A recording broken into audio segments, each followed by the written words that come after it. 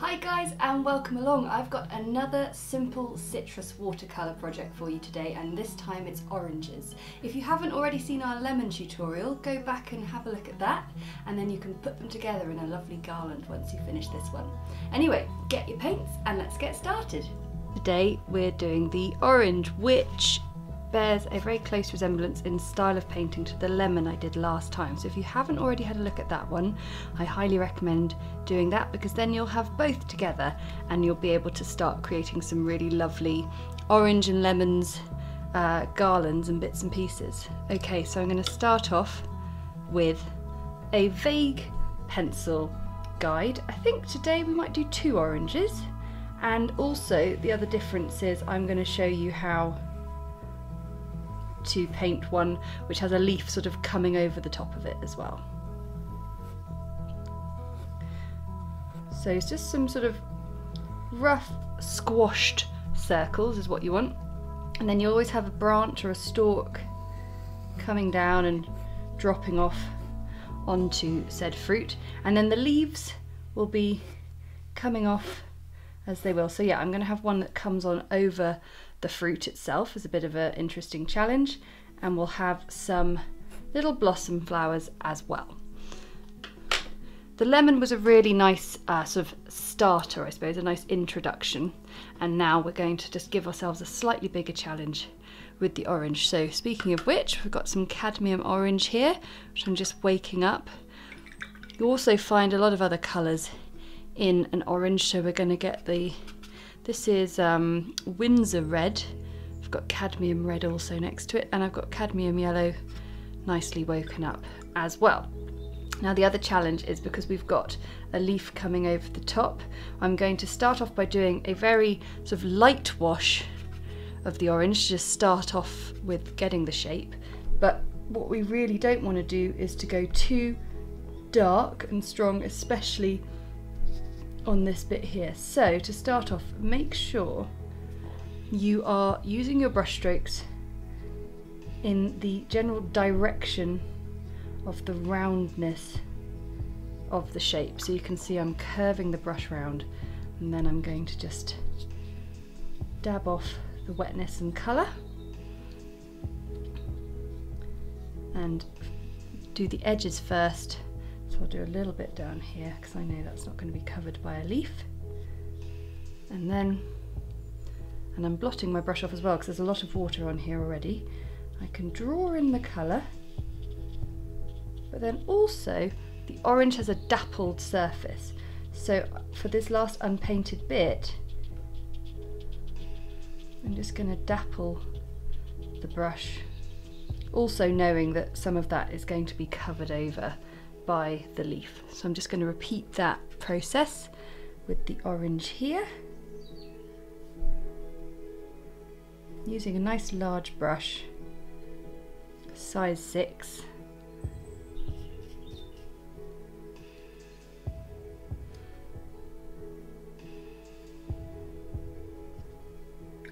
Clean it off, dab it off, draw it in, dab it off and then give yourself a section of more sort of dappled, unpainted orange.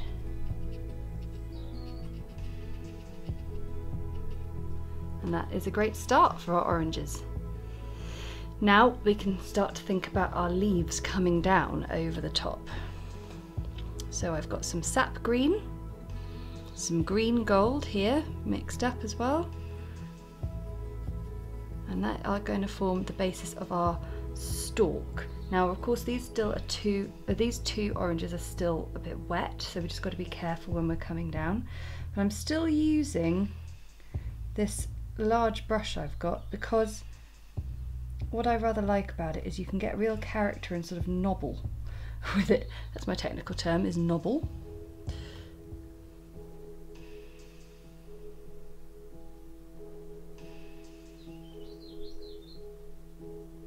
just leaving a little bit of space, blotting my brush off and then just going back in and making sure we've got a lovely smooth blend.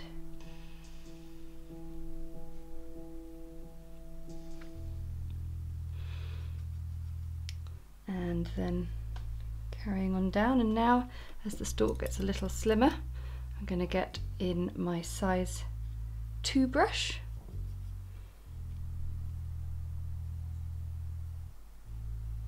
and each time the orange sort of finds a new junction I'm just doing a little bit of a sort of unpainted space, a bit of a knobble on it and I will just drop in a tiny bit of sap green just to give it a little bit more interest. Now the next one coming down is the leaf that's going to go over the orange. Now when you are trying to check whether something is dry or not, either you can hold it up to the light and you'll see by tilting your page into the light what bits of water capture the light and what bits don't. Just remembered I want to add a tiny bit of tiny bit of blue into that leaf. Um, and the other thing is just if you think it's dry, you can just do a light finger test by rubbing your finger over. That's pretty good. So I'm gonna I'm gonna risk it. I'm gonna go in.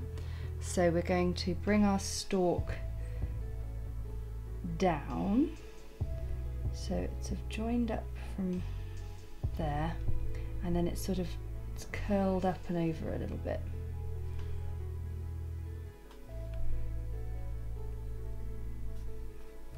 And now I'm going to get my larger brush my sap green. So my leaves are just sap green.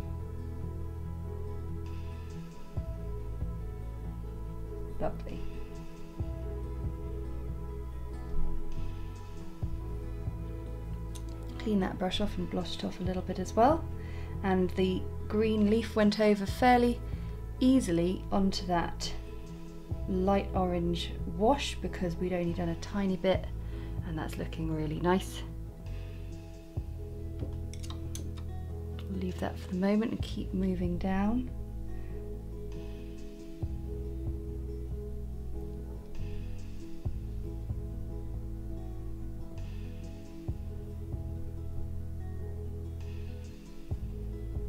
See again, I'm just using this sort of unpainted um, little sections to my advantage, just creating lovely sort of bits of light and shade. We'll come back to sort of getting that stalk looking really nice and interesting. We'll have a little flower coming off here. A little bit more of a stem and then we will get the last leaf in there.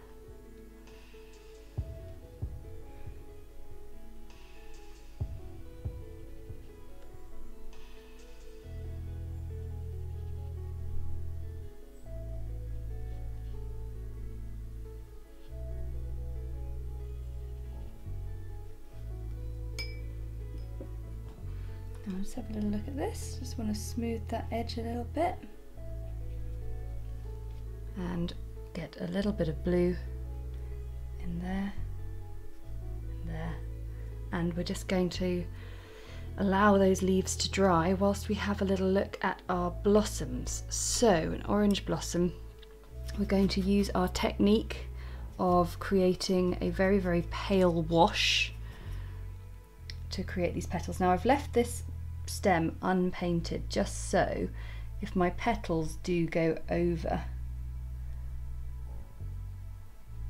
which I'm pretty sure they're going to then it knows which bit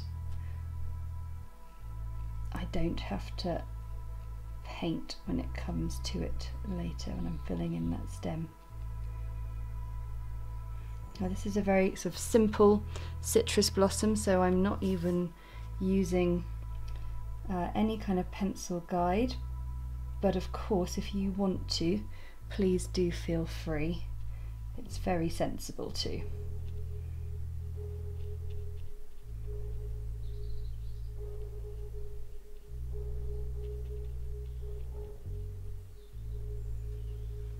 Okay, this is a perfect time to allow things to dry and then we can come back and start adding in some detail. Now this is dry, we can start to work on the oranges a bit more. So I'm going to get some much sort of more bold and bright cadmium orange. And again, I'm just starting to work my way around the edges and I can also start to sort of create the shape that I want and I am going to just add in small amount of the Winsor red as well. And it's funny because you sort of think, oh no, that doesn't need that, but it really does start to come into its own. So a bit of orange, starting to fill out the, the actual shape you want. Draw that in.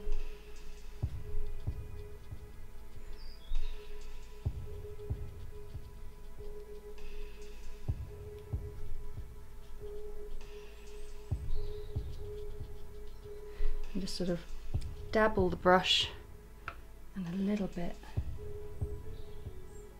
that Winsor red.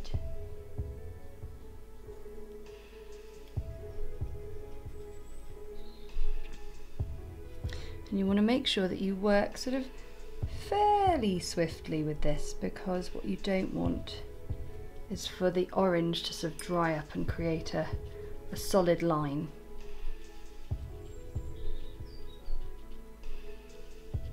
And I'm still thinking about that bit of particularly light shine on the orange.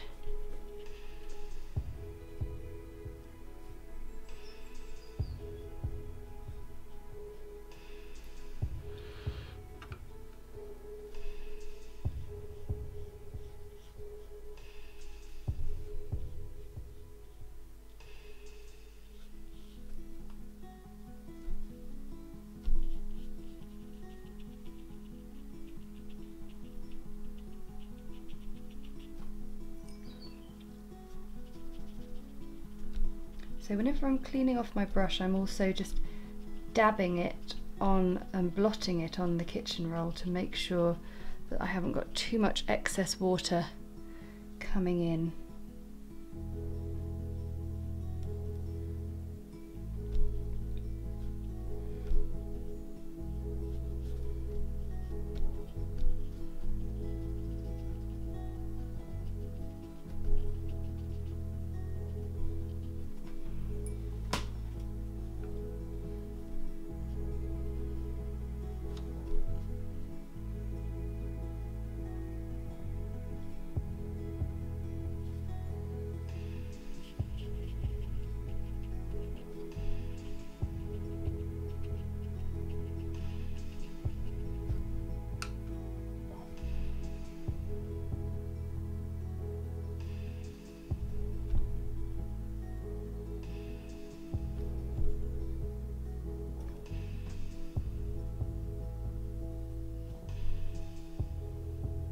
Thing about oranges is they're not perfect circles. So you can sort of create your your shapes without worrying about them being too perfect. In fact, a little bit of a wonk and a wobble I think is a great thing.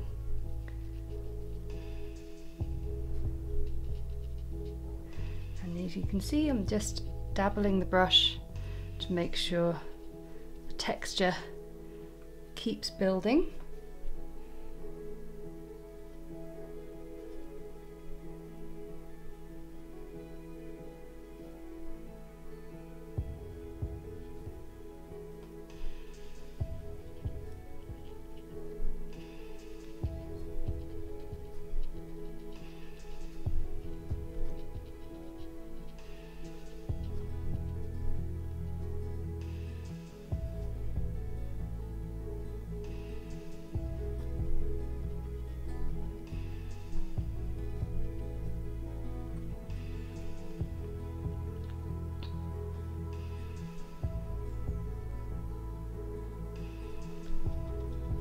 And then I keep going back in.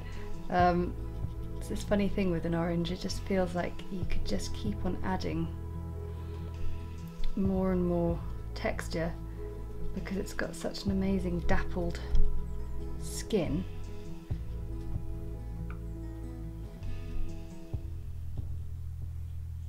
And each time you do, it just means the roundness is becoming even more pronounced. Starting to be quite happy with that, but I think I just want to build it up from the bottom a bit more.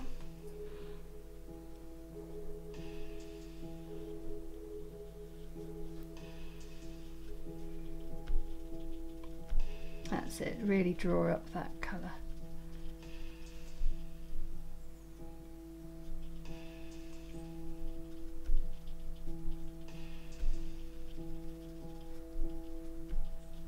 So they're a bit more involved than the lemons.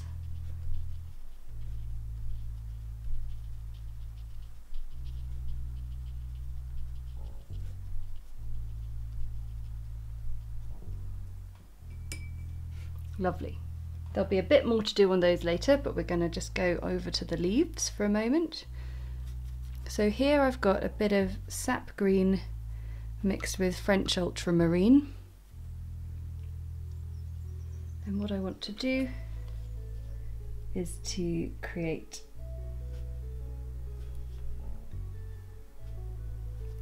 just a simple bit of leaf detail, nothing too much. So that is just following the central line and giving a few little lines, but nothing nothing too strong and then I like to just sort of blend it a little bit.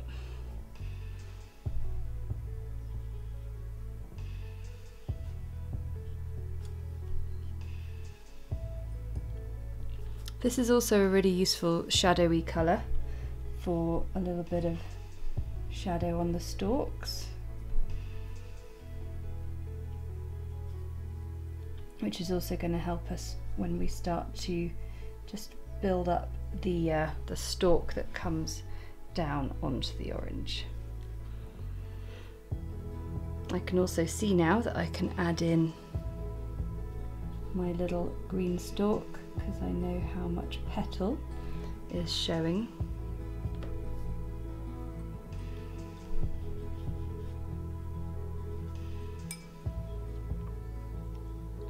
So now we are going to get a much thinner brush. I've got my 3 tenths here and I am going to start with a very little bit of green gold It's just looks like it's sort of poking in between the petals. These are just showing the tiny little sepals and then this flower we're only seeing the underside of it so we're going to see more of this green gold.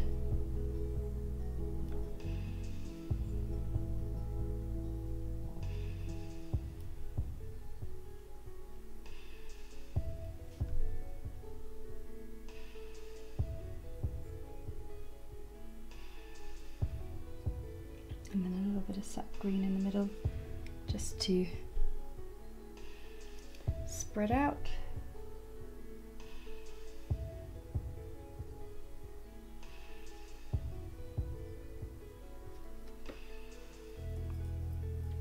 And then we're going to take some cadmium yellow and on this one we can only just see a little bit of the filaments because the flower is facing away from us. On this one we can see quite a bit more. So I'm just painting a few sort of fine lines and then with the green gold just going to add a few little anthers which are the little dots on the end and I'm, I'm doing a few more dots than than filaments that I've painted to give that sense of there being lots there. Right, time to go back to our oranges. So this time I'm going to do a little bit of shadow on the orange itself. And so I've picked up a bit of the uh, shadowy green and blue mix. And this is quite a sort of daring bit to do. So you want to go really really gently with it. So I've picked up a little bit on the brush, dabbing a bit along the underside and then using water on the brush to just disperse it a little bit, make it a little less extreme. So I'm going to do some on the bottom there. And then I'm also going to do a little bit just coming out from underneath this leaf.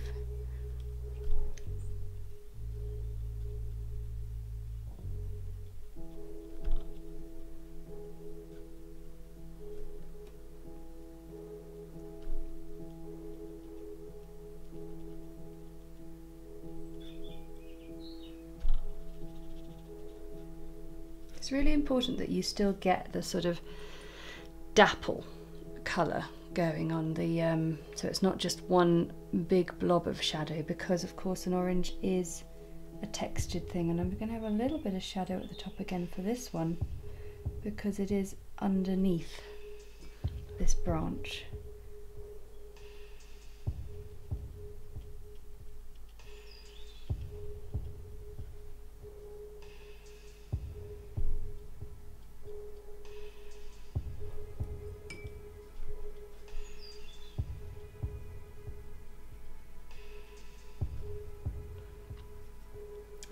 A little bit down the side.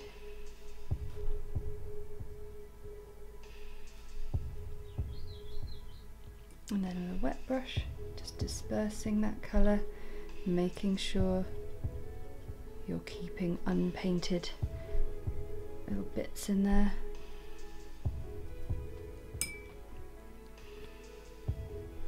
And a little bit along the bottom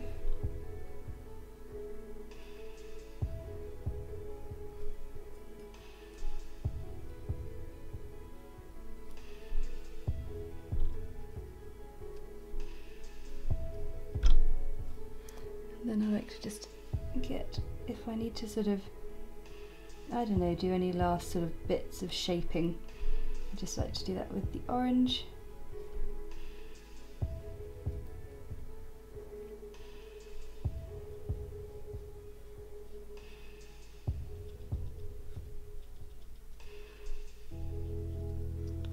Nice one. Oh, really nice. Okay, and then the last little bits are the details that we're going to do. This um, sap green French ultramarine blue mix is fantastic. And I'm going to paint a little sort of almost like a little star shape, a squashed star shape around the base of that stem.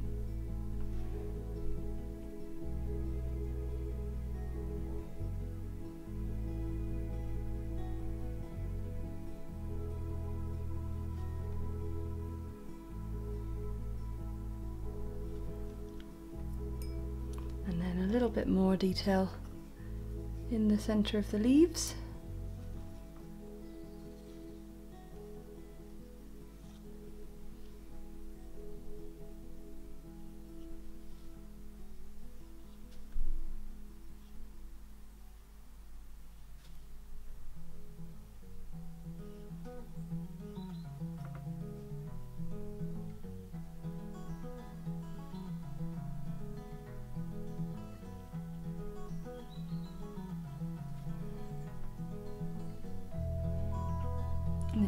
Use that bit of shadow to help just define any more bits on the stem that need a bit of help.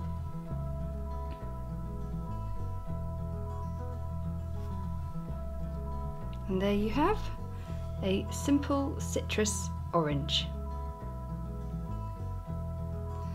Thanks so much for watching. Another fruit project that I absolutely adore doing. I think they're just such satisfying little things to create and you get really good results really quickly. Um, I want to say a real big thank you for watching and a, and a huge thank you to my patrons for supporting my channel. Your support really enables me to create these videos and if you enjoyed this video then hit the like button and of course comment below if you'd like to let me know how you got on if you were painting along and you can subscribe by hitting subscribe and you'll never miss another video. Alright, bye!